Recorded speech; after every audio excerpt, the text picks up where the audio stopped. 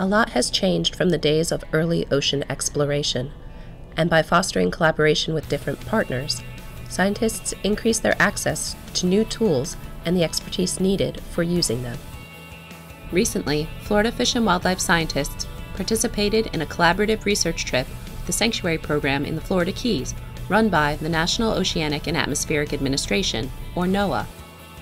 Scientists from FWC were invited to collaborate with the Florida Keys National Marine Sanctuary, NOAA's research lab in Beaufort, North Carolina, and Florida Atlantic University aboard the NOAA ship Nancy Foster. This cooperation enabled the use of diverse equipment and expertise to examine what is happening in waters off the Florida Keys. The Florida Keys National Marine Sanctuary is a 2,900 square nautical mile protected area. And in such a vast area, it's essential to have collaborative partnerships with our other agency, state, and academic research partners. The NOAA ship Nancy Foster is an ideal research platform to conduct such multifaceted research missions. Different people on the team bring with them unique abilities. For example, scientists like Jennifer Vander Pluym and Don Field use drop cameras to verify the bottom habitat that the ship's crew surveys using sonar. This camera is able to go deeper than the divers and can transmit back to the ship real time footage. Another tool that scientists deployed on this expedition was the stereo camera. This cage has cameras on all four sides, giving the scientists a view of what is going on around the area. There are even low light cameras that can be deployed through the night.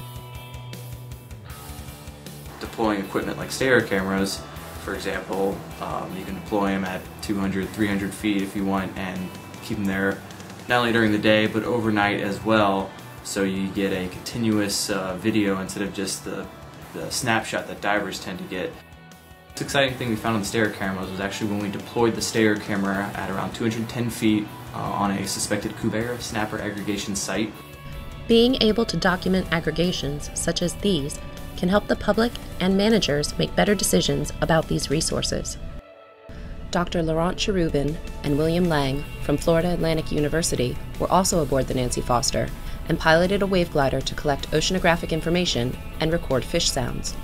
The wave glider has a platform that is on the surface and is transmitting this information back to the ship via satellites in real time. Underneath the waves, a tether attaches the glider to both the fins that help it move and the instruments that gather data. Fish sounds collected by the wave glider can be used to identify aggregations of fish. I think it's a tool that is becoming more and more affordable to use. Um, creating this kind of partnership with people who have those units would really benefit the research we do in that area. At the same time the wave glider and stereo cameras are collecting data, divers are able to get in the water and place acoustic tags in fish of interest. These acoustic tags can last for several years and will allow the fish to be recorded on specially placed underwater receivers. Scientists will retrieve these receivers to download the information and see when the fish swim by. Uh, the advantage of tagging underwater versus topside on a boat, uh, the main advantage is probably reducing or, or eliminating barotrauma.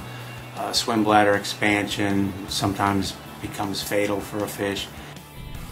Fish traps placed on the bottom catch groupers and snappers. Divers place acoustic transmitters inside appropriate fish and release those that are not tagged. Fish implanted with acoustic tags are stitched up using dissolvable stitches, and once measurements are taken, the fish is released. It can help you learn uh, where fish travel to to spawn, uh, where they spend most of their time, where they forage. The information that we get from these monitoring and targeted research studies is essential to providing information to help us better manage the resources of the sanctuary.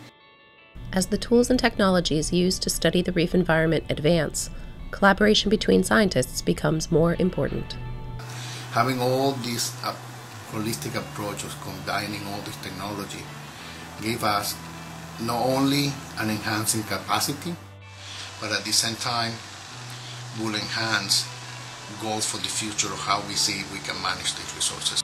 Teamwork on missions like these are providing the best possible information for future management of these resources.